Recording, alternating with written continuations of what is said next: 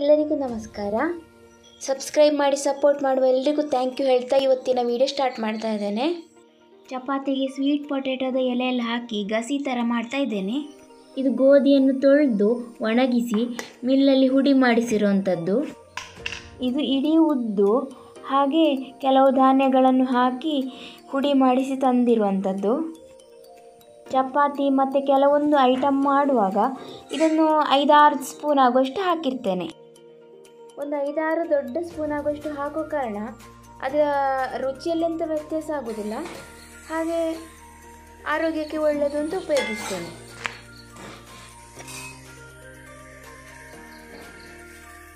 ನಾವು ಚಪಾತಿ ಮಾಡುವಾಗ ತುಪ್ಪ ಮತ್ತು ಎಣ್ಣೆಯನ್ನು ಮಿಕ್ಸ್ ಮಾಡಿ ಹೀಗೆ ಉಪಯೋಗಿಸ್ತೇವೆ.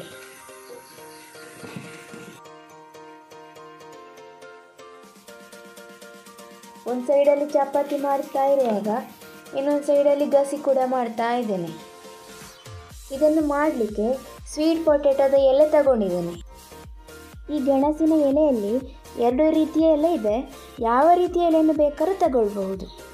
ಐವತ್ತರಿಂದ ಐವತ್ತೈದು ಎಲೆಗಳಷ್ಟು ತಗೊಂಡಿದ್ದೇನೆ. ಇದನ್ನಿಗೆ ಸಣ್ಣಕ್ಕೆ ಕಟ್ ಮಾಡಿ ಇಟ್ಕೊಳ್ಬೇಕು. ಕಟ್ ಮಾಡಿರೋಂಥ ಸ್ವೀಟ್ ಪೊಟ್ಯಾಟೋದ ಎಲೆ. ಇದು ಪೊಟ್ಯಾಟೊ ಪೊಟ್ಯಾಟೊ ಒಂದು ಪೊಟ್ಯಾಟೊನ ತಗೊಂಡಿದ್ದೇನೆ. ಒಂದು ಕ್ಯಾರೆಟನ್ನು ಕಟ್ ಮಾಡಿ ಇಟ್ಕೊಂಡಿದ್ದೇನೆ ಆಮೇಲೆ ಇದು ಸ್ವಲ್ಪ ತೊಗರಿಬೇಳೆ. ಇಲ್ಲ ಇದು ಹಾಕದೇ ಇದ್ದರೆ ಪೊಟ್ಯಾಟೊ ಸ್ವಲ್ಪ ಜಾಸ್ತಿ ಹಾಕಿದರೆ ಸಾಕು. ಇದು ಮೊಳಕೆ ಬರಿಸಿದ ಹುರುಳಿಕಾಳು. ಇದೆಲ್ಲವನ್ನು ಒಂದು ಕುಕ್ಕರಲ್ಲಿ ಹಾಕಿ ಅದಕ್ಕೆ ಎರಡು ಹಸಿಮೆಣಸು ಸ್ವಲ್ಪ ನೀರು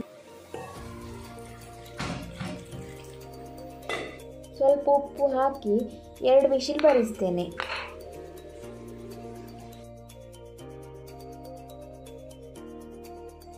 ಸ್ಟೀಲ್ ಕುಕ್ಕರಲ್ಲಿ ಬೇಯಿಸಿದರೆ ಅದರಲ್ಲೇ ಮಾಡ್ತೇನೆ.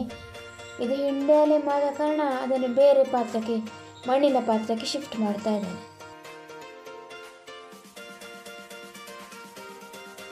ಇನ್ನು ಆ ಪೊಟ್ಯಾಟೊ ಹಾಕಿದ್ದೇನಲ್ಲ, ಅದನ್ನು ಮ್ಯಾಶ್ ಮಾಡ್ತಾ ಇದ್ದೇನೆ. ಹೀಗೆ ಪೊಟ್ಯಾಟೊನ ನೋಡಿ ನೋಡಿ ಮ್ಯಾಶ್ ಮಾಡ್ತೇನೆ. ಅಷ್ಟೊತ್ತಿಗೆ ಗಸಿ ಮಂದಾಗ್ತದೆ, ರುಚಿಯೂ ಆಗ್ತದೆ.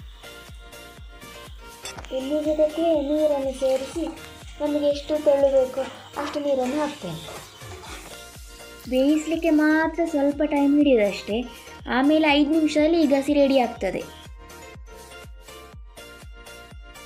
ಇನ್ನು ಇದಕ್ಕೆ ಒಂದು ಐದಾರು ಆಗುವಷ್ಟು ಸಾಂಬ್ರಾಣಿ ಎಲೆಯನ್ನು ಹಾಕ್ತಾ ಇದ್ದೇನೆ.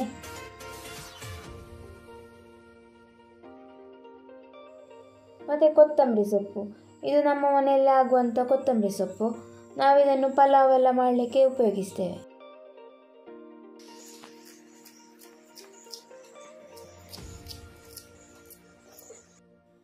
ಸ್ವಲ್ಪ ಹುಳಿ ನೀರು, ಒಂದು ದೊಡ್ಡ ಸ್ಪೂನ್ ಅರಸಿನ ಮತ್ತು ಸ್ವಲ್ಪ ಗರಂ ಮಸಾಲ, ಖಾರಕ್ಕೆ ಬೇಕಿದ್ರೆ ಮೆಣಸಿನಡಿ ಹಾಕ್ಕೊಳ್ಬೋದು. ತುಂಡು ಬೆಲ್ಲ ಹಾಕಿ ಒಂದು ಕುದಿ ಬಂದರೆ ಆಯ್ತಿದು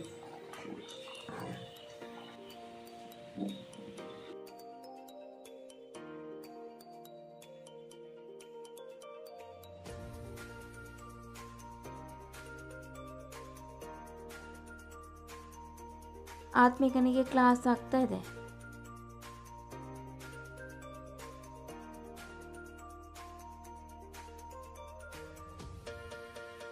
ರಜದಲ್ಲಿ ಪೆನ್ನಿಗೆ, ಪೆನ್ಸಿಲಿಗೆಲ್ಲ ಅವಳದೇ ಒಂದೊಂದು ಕ್ರಾಫ್ಟ್ ವರ್ಕ್ ಆಗಿದೆ.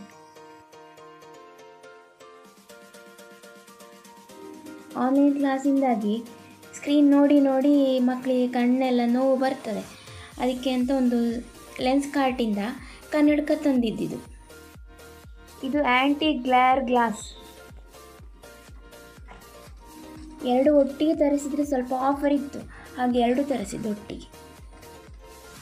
ಮೊಬೈಲ್ನ ಸ್ಕ್ರೀನ್ ನೋಡಿ ನೋಡಿ ಕಣ್ಣೆಲ್ಲ ನೋವಾಗೋದಕ್ಕೆ ಇದು ತುಂಬ ಪ್ರಯೋಜನ ಆಗ್ತದೆ.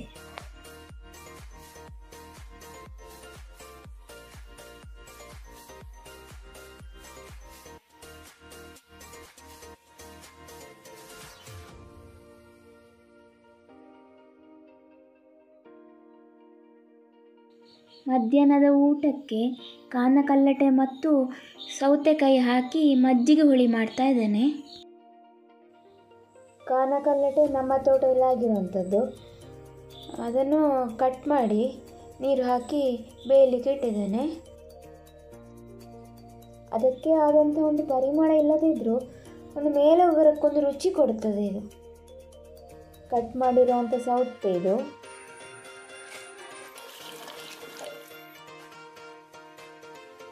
ಕಾನಕಲ್ಲಟ್ಟೆ ಬೆಂದ ನಂತರ ಅದರ ನೀರನ್ನೆಲ್ಲ ಒಂದು ಪಾತ್ರೆಗೆ ಹಾಕಿ ಮತ್ತು ಅದರಿಂದ ಬೀಜವನ್ನು ಬೇರ್ಪಡಿಸಬೇಕು. ಸಾಂಪ್ರದಾಯಿಕವಾದ ಮೇಲೊಗರ ಇದು. ಈ ಟೈಮಲ್ಲಿ ಮಾತ್ರ ಇದು ಸಿಗೋದು ನನ್ನಮ್ಮ ಯಾವಾಗಲೂ ಈ ಸಮಯದಲ್ಲಿ ಮಾಡ್ತಾರೆ. ಇನ್ನು ಸೌತೆಕಾಯಿ ಬೆಂದ ಭಾಗಕ್ಕೆ ಇದನ್ನು ಹಾಕ್ತಾ ಇದ್ದೇನೆ. ಸ್ವಲ್ಪ ಮೆಣಸಿನ ಹುಡಿ ಹಾಕ್ತಾ ಇದ್ದೇನೆ. ಕಾಯಿ ತುರಿಗೆ ಎರಡು ಹಸಿಮೆಣಸು ಮತ್ತು ಒಂದು ಸ್ಪೂನ್ ಆಗುವಷ್ಟು ಅಕ್ಕಿ. ಅಕ್ಕಿ ಹಾಕೋದ್ರಿಂದ ಮೇಲೋಗಲು ಸ್ವಲ್ಪ ಮಂದಾಗ್ತದೆ ಕಡಿಯುವಾಗ ಸ್ವಲ್ಪ ಮಜ್ಜಿಗೆ ಹಾಕಿದರೆ ಬೇಗ ನುಣ್ಣಗೆ ಆಗ್ತದೆ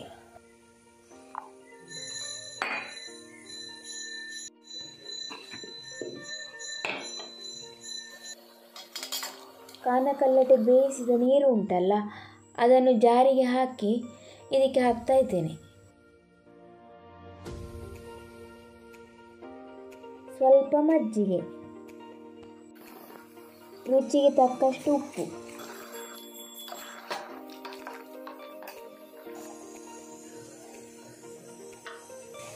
ಇನ್ನೊಂದು ಸೈಡಲ್ಲಿ ಮಾವಿನ ಹಣ್ಣಿನ ಗೊಜ್ಜು ಕೂಡ ಮಾಡ್ತಾ ಇದ್ದೇನೆ. ಸಿಮ್ಮಲ್ಲಿ ಇಟ್ಟು ಅದು ಮೇಲ್ಗಡೆ ಮುಗುಳಿ ಬರಲಿಕ್ಕೆ ಸ್ಟಾರ್ಟ್ ಆದರೆ ಆಯ್ತು ಅಲ್ಲಿಗೆ ಮೇಲೋಗರ ಈಗ ಎರಡು ಆಯಿತು, ಎರಡನ್ನು ಆಫ್ ಮಾಡಿದ್ದೇನೆ.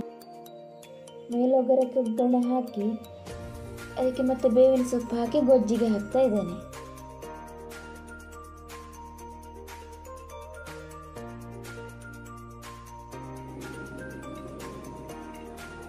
ಮಧ್ಯಾಹ್ನದ ಊಟ ಆದ ಮೇಲೆ ಅಜ್ಜಂದು ಪುಳ್ಳಿಯದ್ದು ಒಂದು ಚೆನ್ನೆ ಮಾಡಿ ಆಟ ಆಗ್ತಾ ಉಂಟಿಲ್ಲಿ. ಹೀಗೆ ಬೇರೆ ಬೇರೆ ಆಟ ಆಡ್ತಾ ಇರ್ತಾರೆ ಅವರಿಬ್ಬರು ಕೂಡ.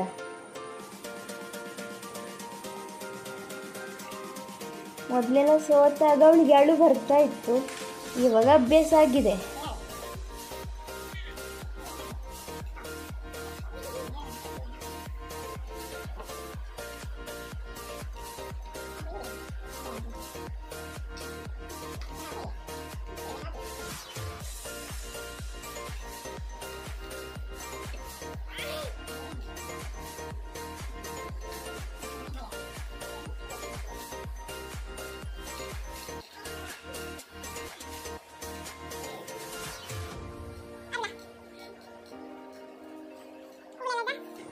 फुगलेला आहे जा.